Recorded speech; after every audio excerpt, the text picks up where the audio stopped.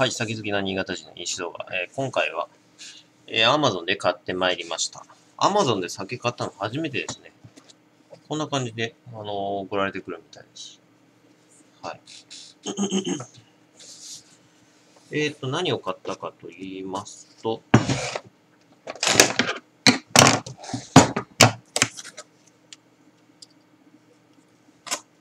値段がね、確かね、千、1100円か200円ぐらい。送料無料だったんですアマゾンで酒送料無料は珍しいですね。酒が送料無料は結構珍しいんではないかと思いますが。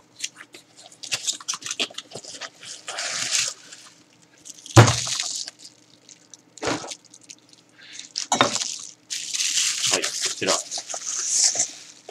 何かと言いますと、じゃん。ミードです。えー、ミード、えー、シークレット・オブ・クレオパトラというその他の醸造酒。原材料が蜂蜜のみ。で、アルコール度数11%。で、これがですね、ここに書いてあるんですが、うーん、わからないかな。菊水酒造株式会社。菊水酒造株式会社。でね、あの、ここに、高知県、なんとか市、なんとかかんとかって書いてありますね。高知県の方の菊水酒造っていう。まあ、前言いました。新潟のね、あの、柴田市にもね、あの、菊水酒造っていうのはありますえー、で、えー、内容量が 500ml。うん。製造年月日が27年の11月となっております。蜂蜜酒。これね、今まで飲んだことなくて、蜂蜜酒っていうのがあるということに、あの、知って、ちょっと飲んでみたくなったので買い、買ったわけです。で、あの、まあ、ネットでしかね、大体ね、手に入らないみたいというか、まあ、あんまり売られてないみたいですね。普通のね、店舗、店舗にはね、あまり売られていないようです。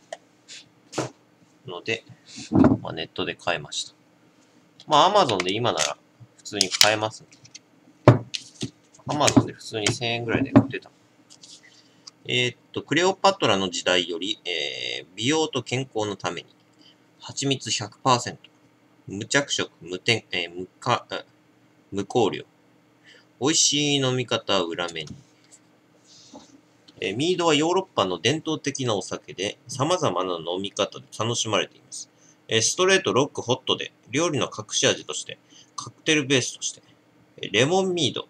ミード 200cc にレモン果汁を 10cc。ああ、うまそうですね。なんか、あの、レモネードみたいな。えー、ミルクミード、ミードと牛乳を1対1で割る。うん。その他お好みの果汁や、えー、紅茶、ヨーグルトなど様々なものとブレンドしてお楽しみください。ミード。えー、古代エジプトでは、えー、養、養蜂が盛んに、盛んに行われ、クレオパトラも美容と健康のために蜂蜜を愛用したと伝えられています。蜂蜜の成分が凝固を沈殿する場合がありますが、品質には問題ありません。だって、蜂蜜酒は、えー、古代ヨーロッパでビールやワインと共に愛飲された、えー、人類最古の酒であり、貴重な酒として新婚夫婦によく飲まれたことから、ハネムーンの語源となりました。へー。蜂蜜酒イコールハネムーンってのあの語源なんだ。おそれは知らなんだ。はい、ということですね。蜂蜜酒ですけど。まあ、蜂蜜100%ということから、から、まあ、なんか甘そうだよね。だけど、どうなんでしょう甘いのか？入れてて。甘いのか？まあ、蜂蜜っていうぐらいだから甘いんだろうな。わかんない。でも、蜂蜜100%っていうことだから、結局蜂蜜を発酵させて作ってるわけだろ？ということは、多分、糖分もだいぶ飛んでるんではないかと。糖分が発酵して、結局、アルコールになるわけだからね。案外甘くないのかもしれない。それじゃあ乾杯。うわなんじゃこりゃ。うわ、なんでこれ。え、これ蜂蜜これ。なんかくっせんだけど、くっせっていうか、なんだこれ。まず。なんか、香りがすごいぞ、これ。普通に蜂蜜のなんか、あの、蜂蜜プラスウォッカみたいな感じかなと思ったんだけど、全然なんか、うわっなんだこれ異様な匂いがする。口に入れた瞬間にこのブワー香るなんか、変な、変な香り。なんだこれ。臭い。臭いっていうこともないけど、なんか、いや、臭いな。なんかね、子供の時にね、あの、おもちゃで、おもちゃっていうか、あのー、あったんですけど、えー、っとね、なんか、ストローみたいなのに、なんかさ、あの、先っちょにさ、なんかさ、あの、粘り気のあるやつをつけて、ぷくーって膨らませる、なんかおもちゃっていうか、そういうのあったんですけど、いわゆる割れない風船みたいな、いや、割れない風船じゃない。割れないシャボン玉的なものあった知ってる人知ってると思うんだけど、あれってすげえなんか変な香りしたじゃん。なんか、あの、セメダインじゃないけどさ、セメダインっていうこともないんだけど、なんか、そういう薬品の草っていうなんか、あれにすっごい似てる。すっごいなんか変な、口に入れた瞬間に香る、この、なんだこりゃーっていう香りが、それに非常に似てる。これはまずい。しかもなんか微妙に酸っぱい。微妙になんか酸っぱいような。ほの、ほんのり、まあ甘いんだけど、ほんのり甘いんだけど、ほんのり酸っぱい。ほんのり甘、酸っぱいみたいな。なんか、酢、酢がなんか若干入ってるような味な、味なんだけど。なんだこれ。まず。うわ、全然想像と違った。なんじゃこりゃ。これはまずい。あかん。これはまずいぞ。普通にまずい。全然うまそうな見た目してなんかすげえ、蜂蜜酒っていうなんか、名前からしてさ、うまそうかなーと思って、思ったらこれだよ。まずこれ。草。変な草、臭さ、臭さがある。うわ。うわ、これはあかん。これちょっと、やばいやつや。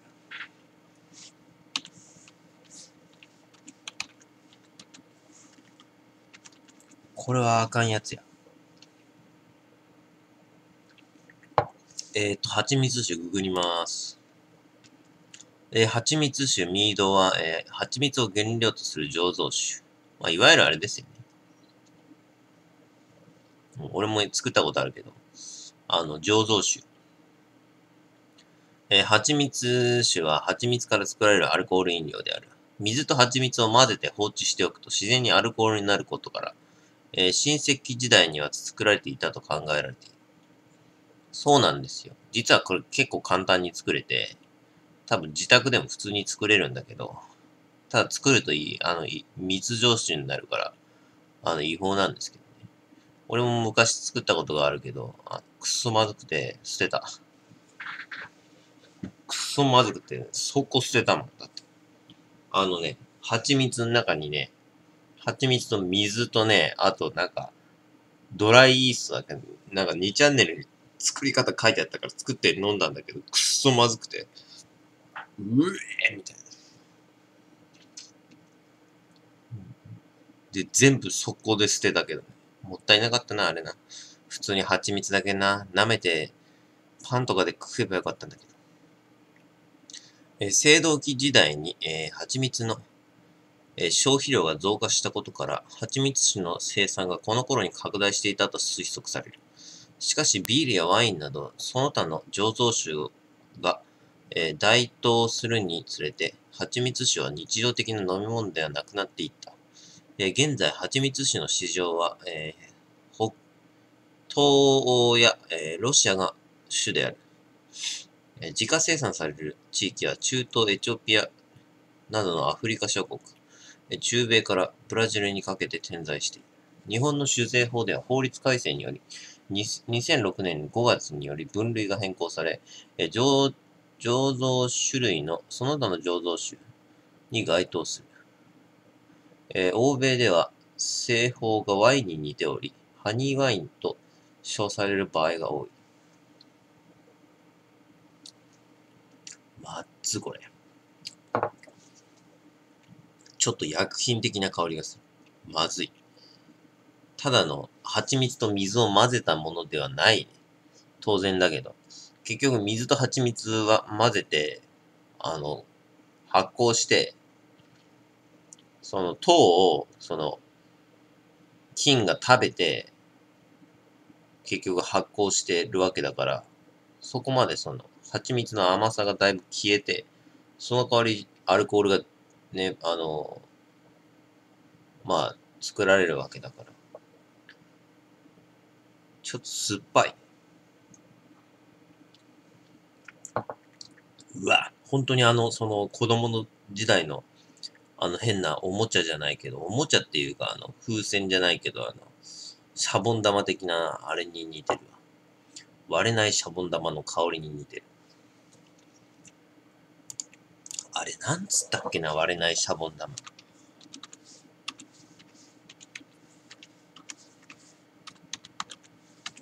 多分今でも売ってると思う。なんかね、これこれこれググった出た。割れないシャボン玉でググったら一発で出た。バルーン風船。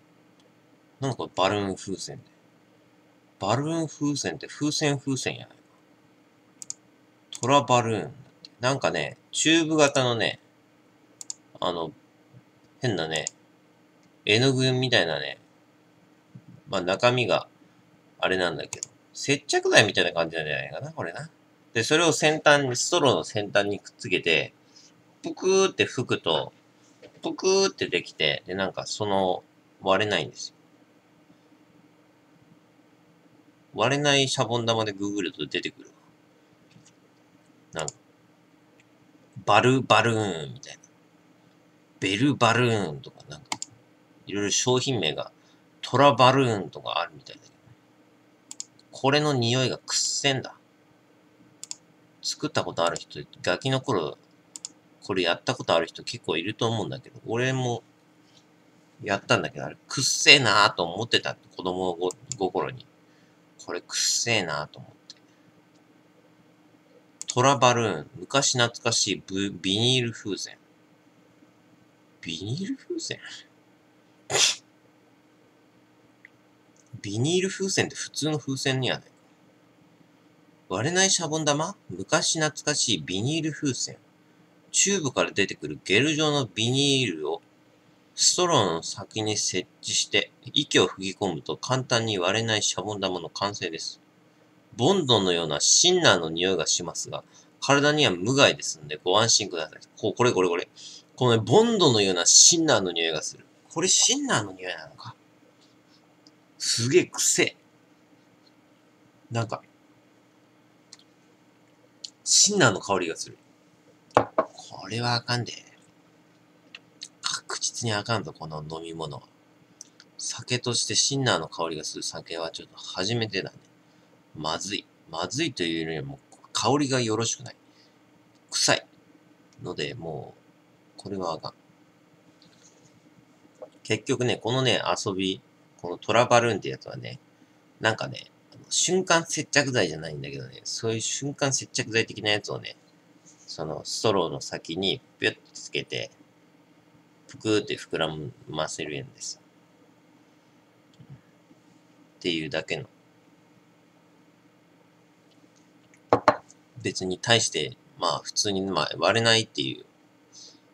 あ、シャボン玉が割れないわ、みたいな。で、普通に手でこう触れたりする。で、あれが臭いんですよ。だからこれ絶対シンナーの香りだって、これ。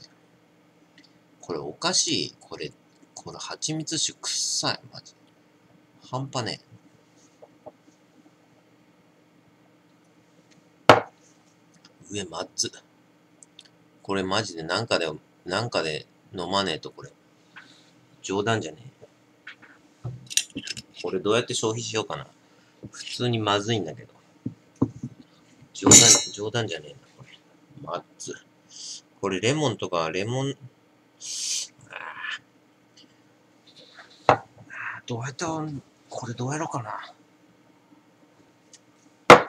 これどうやって消費しようかな。これまずいわ。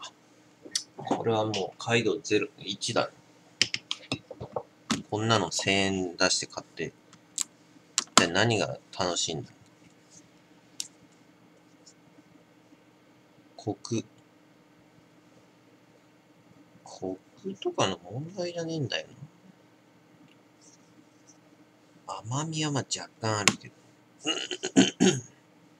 香りくっせえから、これ5つ星にして、香り5つ星にして、これおすすめの1にしとく。これはまずい。まずい上に臭いし、冗談じゃない。えー、3、4、5、1です。ご視聴ありがとうございました。